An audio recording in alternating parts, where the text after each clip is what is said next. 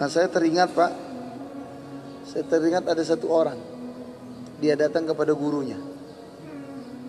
Dia bilang, ya, wahai guru, saya punya rencana. Saya yakin rencana saya akan bisa saya kerjakan karena kekuatan saya. Dan saya mampu. Diingetin sama gurunya. Ya insya Allah kamu punya kemampuan. Segala-galanya kamu punya. Kamu merasa kuat. Ya tapi jangan kamu sombong. Belum tentu bisa terlaksana. Saya doakan tapi itu belum tentu bisa terlaksana. Begitu hari haknya pak.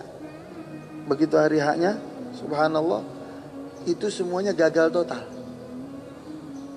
Kenapa gagal total? Dianya meninggal yang tadinya mau buat acara senang-senang jadi acara duka. Hilang semuanya. Makanya jangan, jangan sekali-kali kita sombong. Al-kibriya'u dikatakan apa? Al-kibriya'u li rabbina sifatun bihi mahsusatun fatajannabanha wattaqi. Kesombongan itu mutlak milik Allah.